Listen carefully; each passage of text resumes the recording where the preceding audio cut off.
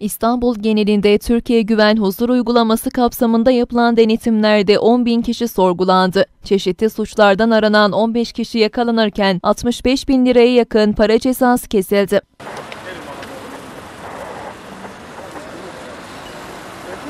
Türkiye Güven Huzur uygulaması kapsamında İstanbul genelinde 160 noktada 1456 polisin katılımıyla uygulama yapıldı. 10.499 kişinin sorgusunun yapıldığı uygulamada çeşitli suçlardan aranan 15 kişi yakalandı. Ayrıca uygulamalarda 6 gram uyuşturucu madde ve 1 adet ruhsatsız tabanca bulundu. 2339 araçla motosikletin kontrol edildiği uygulamalarda 63 araca işlem yapılırken 7 araç trafikten men edildi.